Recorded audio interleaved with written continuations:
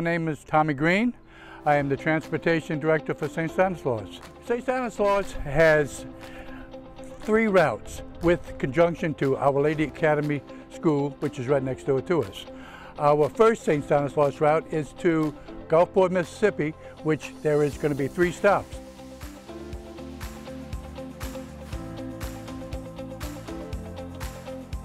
The second route that we have is the Long Beach route.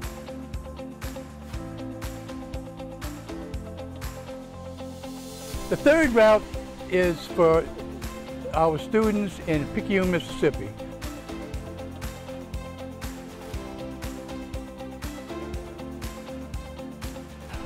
As the students board the bus, their temperature is taken and their seats are assigned with the proper social distancing. Your student is tracked from the time they get on the bus to the time they get off here at school.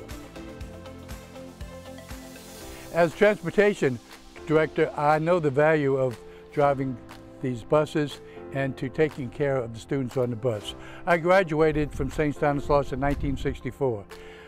Bus transportation was few and far in between.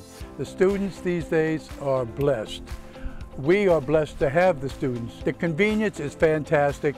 You have no worries whatsoever because we do this professionally.